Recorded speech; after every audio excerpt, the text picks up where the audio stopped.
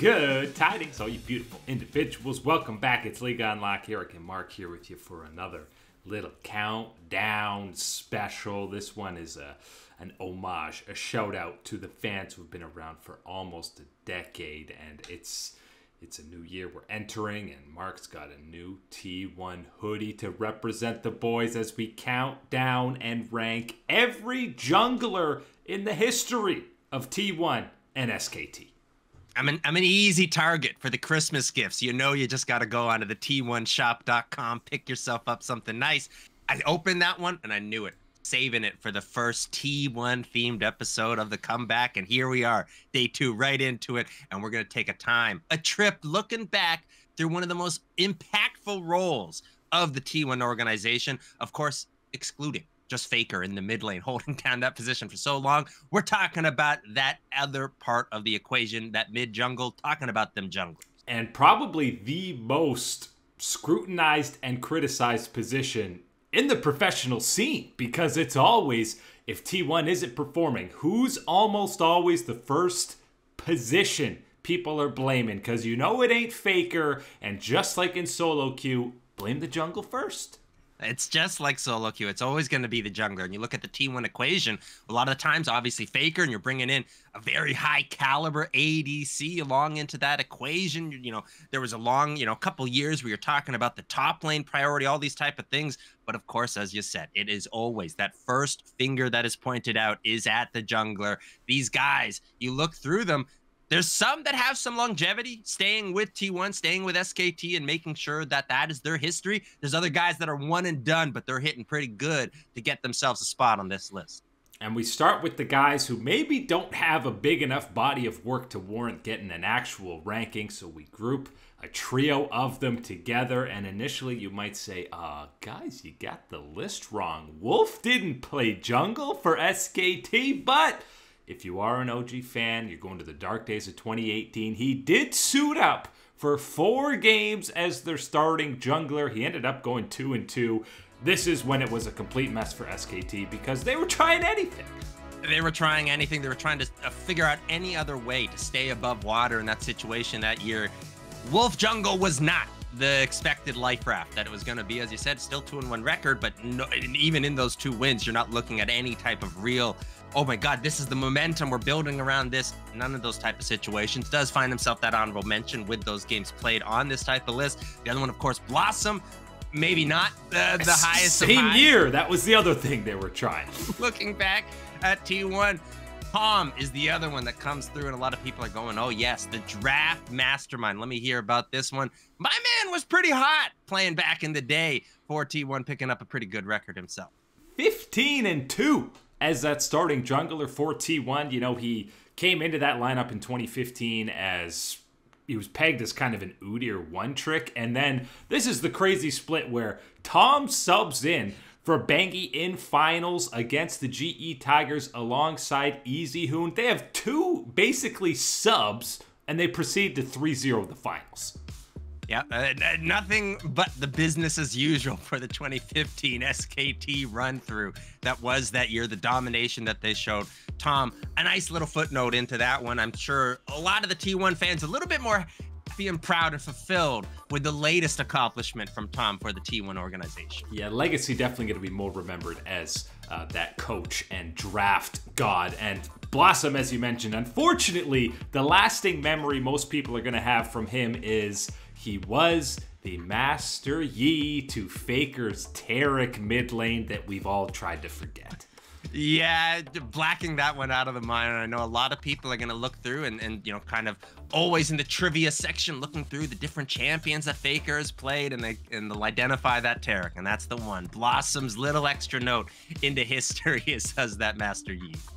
Then after that, we can get to the actual rankings here. Guys that played upwards of, you know, at least a whole split or 40 plus games. And the obvious one to start with is Mr. Elam, who showed glimpses. You thought maybe this guy was going to be the future jungle spot for T1 in 2020 spring. They were looking good. Things looked like this team was back on track. And then Obviously, we ended up getting a whole lot of roster shuffling going on, not just with the jungle, but pretty much everybody except for Kiria in that 2020 era. And I think that's one of those situations where you can look back at Ellim and his performances and look at some of the highs. You can identify some of the gameplay on things like Trundle had a pretty darn good win percentage on that. The Olaf as well was another champion that I think came through and was strong for him during that period. Again, like for a lot of other junglers at that time. And then you enter into the musical chair situation for T1 that we had going on. Mm, I don't think A, individually, he did enough to solidify, to stand out for himself, to be one that would be a centerpiece to stick in after, you know, the musical chairs act ended for T1. And he certainly was someone that I think was affected by that situation with that instability, with those constant changes going around, finds himself in this type of position. Still a good, serviceable time for T1. Obviously, when you're talking about an organization with the rich history and the highs of highs that T1 has, this is not going to be enough to cut yourself higher into a list like this. And want to set the caveat here for this list going forward. We're looking specifically at their time on T1. It doesn't matter what happened before, what happened after they were on this organization. We're looking specifically at the bodies of work for when they were playing with the most icon- iconic organization. Ellim goes on to the Kwangdong Freecs after T1 and you know, maybe never exactly lives up to the hype, but with Clozer getting subbed in, you had Guma getting subbed in for Teddy. It was a mess across the board.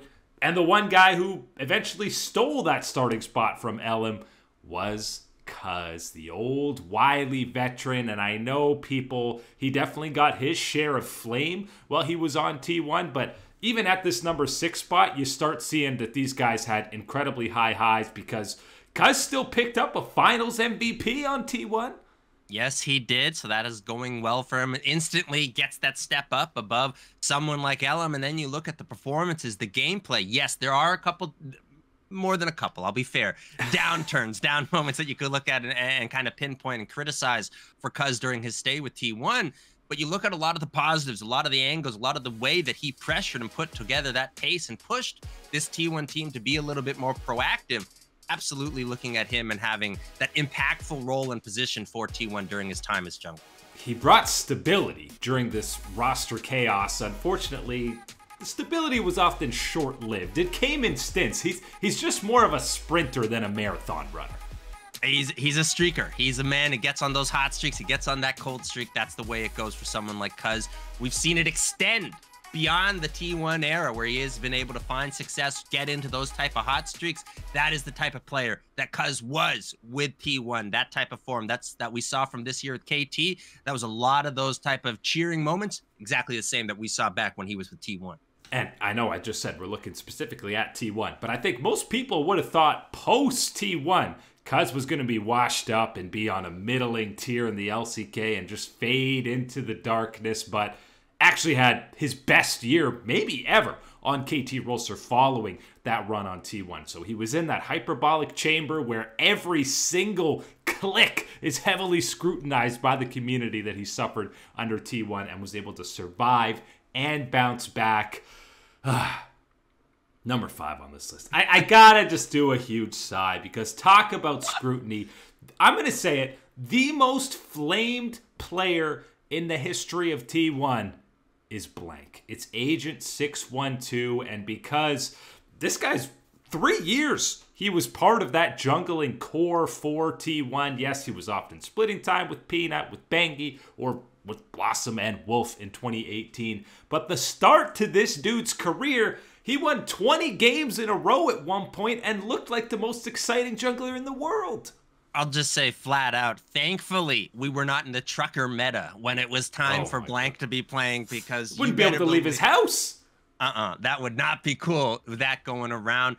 Blank. Yes, a very controversial one that you look at because a lot of people look to the disappointments, look to where he failed for T1 or needed to have someone else come in and be that savior for the team for that run type of situation, forgetting a lot of the work that was done, everything in between those type of moments to get to that point in time. Blank is absolutely someone that was, for a large part of his career, I'm cautious in saying this, very dependable for T1 for someone like Faker. And of course, it all comes to the end until when you aren't dependable enough for T1 for Faker is really where we see that run and that changing of the guard for T1 in that jungle position, but it should not be forgotten as you laid out that incredible start and everything that happened in between up until that end for Blank. And I know, again, the second half of his career is recency bias, what people kind of have with him. But 2016 spring, through to MSI, through a lot of worlds, really, this guy was one of the most exciting players, not just jungler, not just LCK, but in the entire world to see. He was doing things on Lee Sin that nobody was doing at the time.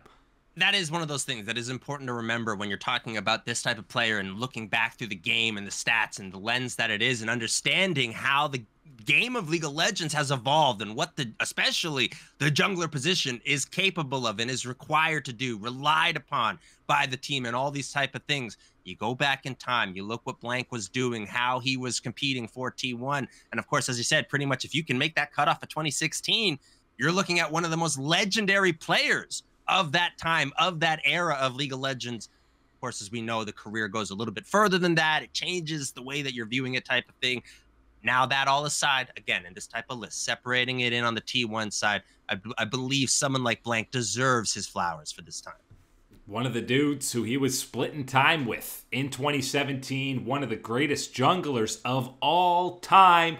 Peanut comes to SKT in 2017 to make this dubbed super team, and much like Blank, we seem to remember how worlds ended for SKT. Peanut's a liability. He's washed. Why did they sign this guy? But uh, all this guy did was make at least finals in every single event in 2017. And spring and MSI, we were looking at this SKT roster saying, my God, this might be the best version of them we've ever seen it was crazy going through that 2017 year, that time for T1, and realizing the roller coaster that that year is. Of course, with just such a drastic dip in that 3 0 to Samsung at the end of the year, you forget about all the amazing rides that you had all the way through, of course, the LCK title, and then you're looking through again at MSI and that performance that he's putting through, especially on that signature Lee Sin pick dominating, dismantling everybody that he came across. That was one of the best times that you're looking at for Peanut. A very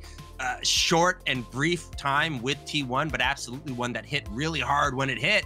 And unfortunately, just not able to hit at that last chance. And obviously, we always we're not giving excuses, but the meta changes in 2017. But there's no question that there were times where Peanut exceeded expectations for him coming to an already stacked up lineup uh, of SKT at the time when Bengi was finally out as the starting jungler and Peanut obviously coming off the incredible ROX Tigers year. And you were saying, How can you join SKT? That's the team you were supposed to be groomed to defeat. But again, didn't finish below top two any major event. So I don't know how you wouldn't be calling 2017 as a whole for Peanut a massive success. The three spot on this list is another guy who was only there for one year, but boy, did he have an impact. Clid picked up both LCK titles in 2019, the revamp year for SKT, and at the biggest events of the year, both MSI and Worlds, most people were rating this guy as the best jungler and a top three player in the world. And I think one of the things is it's, you know, it's actually it works out really great here, moving from Peanut towards Clid in this type of list to demonstrate the differences and where, why Clid accelerates to this third uh, spot on this type of list. The stability that he offered during his time for T1, whether it was about getting, you know, uh, surviving any of the pressures that you would have had with other these big threats at the time, or making sure that T1's getting off that runway. You're getting that damage, that power in the bottom lane. Faker's going to have that type of role to play in the game. Clid was the one facilitating that and making sure that a lot of that was able to get off the ground with reliability throughout that period of time. You look back, just talking about Peanut, we had the highs and the highs and the lows, lows of making sure how the how that year ended. I don't think we reached that stable peak, that expected consistency of excellency that you did achieve with Clid in the Jungle 4T1 during that time. And there was never really a dip where you were saying, you know, Peanut towards Worlds, as we just mentioned. You're like, ah, he's not quite up to that world class level. Clid was there even in the series that they were dropping a G2 at both MSI um, and at the World Championship. You weren't really looking at Clid individually as underperforming. No, and I think since really, you know, obviously going through these eras, these peaks of that position for T1, I think outside of the era of Bengi and Blank, that combination of that blanket duo, you didn't have that type of you know consistency that type of reliability in the jungle where you could really trust him to get the job done to be that impact player to play at his very best when the stage and the lights were the brightest and biggest. That was one of those things that Clid absolutely also brought to the table for T1 one of those ones where you really wanted them to re-sign to recontinue this type of path for them. Of course Clid goes his separate ways, and we all know how history turns I, out. In that I, I think situation. he needed more than a year on T1 to, you know, get the yeah. Coma belt and maybe focus a little more on the Rift that, as opposed to certainly a whole separate conversation to be had. But in this type of one, in this type of lens, and focusing in on the T1 era, there is no question about the level of consistency and stability that he provided for this team with his own play and as well as what he viewed the game with. Now we're into the big boys. The top two, where who you're putting top two is easy, it's obvious. I will accept arguments for either way in the positions that you're putting them in, but in that number two spot is Oner who has gotten his share of flame, maybe right after blank because expectations were so high for this guy, but also individually, talent wise, mechanically, the highest rated jungler on a list of stacked individual talent. But the highs that we have seen Oner, even when T1 wasn't winning titles, he's now been here three years basically with T1. Individually, absolutely astronomically world class don't think there's a combination that you can come up with from this list that equals out to what Oner is and what he exactly offers for T1 with this tr- three-headed monster of his playmaking, his creativity, and his mechanical skill. All three of them combined are what makes him this ferocious monster to deal with in that jungle position. And one of these ones that is so lethal when he's on that same page, when he is on connection in communication with the team and everything is going right. We've seen him with a bit of this, a bit, a bit more of a dip than I think anybody would really have expected from a player of his caliber when Faker was out of the lineup. We've seen the impact of having Faker in the lineup. We've heard from other players on this, you know, magnificent T1 roster, and a lot of them that you're saying giving all these praise to, they're all pointing their fingers back to Oner and saying he's the spark, he's the one that makes it happen, he's the one that enables me to come up with this thought and go through this type of play. A major part of the revitalized success of the T1 organization and in such a stacked mechanical roster that has been the Oner era of T1, more often than not, he is the guy who you watch anyone watching through some of the streams for T1, they're going, Oner, what is this guy doing? Oh my Oner, he's so he's a genius. There's so many plays that no one else would see that Oner can execute.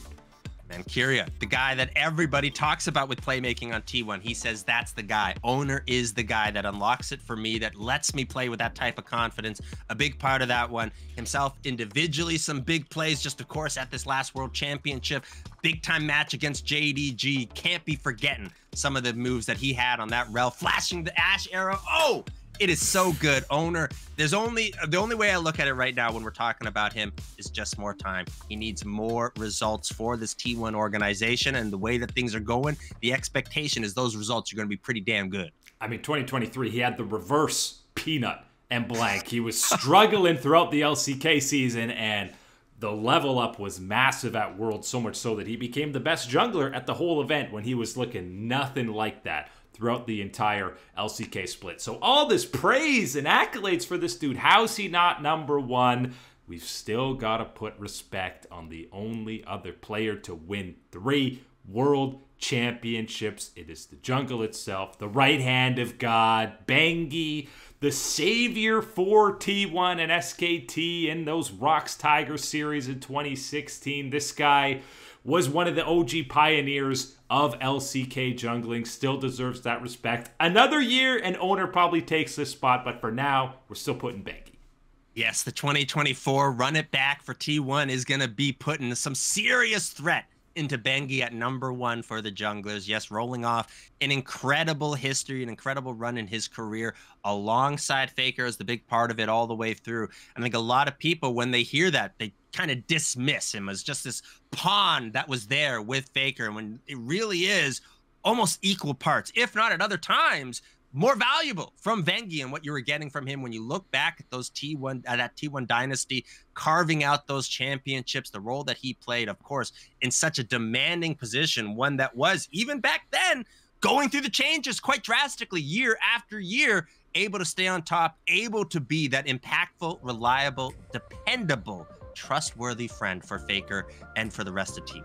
And listen, I I don't believe in when people were saying this, but the whole 2017 to 2021 ish era where Faker and SKT weren't showing up as big on that international stage, that big as in actually winning these events, people were legitimately saying, ah, maybe Faker can't win without Bengi. And it's that's exactly it. And that's not meant to be any type of disrespect to someone like Faker. That was just more so about how much people believe in the impact that someone like Bengi could provide. That clutch factor is also something you got to be looking at because I think a lot of the guys that we've talked about on this list have various levels of that clutch factor. I think someone like Oner that we just talked about has had that clutch factor, has leveled up for T1 in that capacity. He's still got some room to grow if you want to be just as clutch as your boy Bengi was for Faker and for that T1 dynasty. What's maybe most interesting to take note of on these junglers going forward. You already got Tom and Bengi, who have been coaches for T1. I wouldn't be shocked if guys like Cuzz and Peanut, when they retire, are also going to be stepping into a coaching role with T1. The jungler, man, they see it all. They have to deal with everything from all the other players. Absolutely makes them into that solidified, uh, solidified coaching position that we have seen so many of these legends become. And yeah, you're right. Players like Cuzz, like Peanut, I could absolutely see that path for them in the future. But let's not jump to any any haste with that right now. My boy's still playing in the LCK. We still see this T1 lineage infect the rest of the LCK. Again, there's no other team that you can do rankings like this for a single role and have all these icons in the scene who have since played for multiple teams or played for multiple teams before that. That, again, just speaks to the decade plus long history of T1 and SKT as the greatest organization in League of Legends. But that is it for today on League on Lock. Eric and Mark here with you, beautiful people. As always, thank you so much for joining us, and we will catch you on that flippity flip.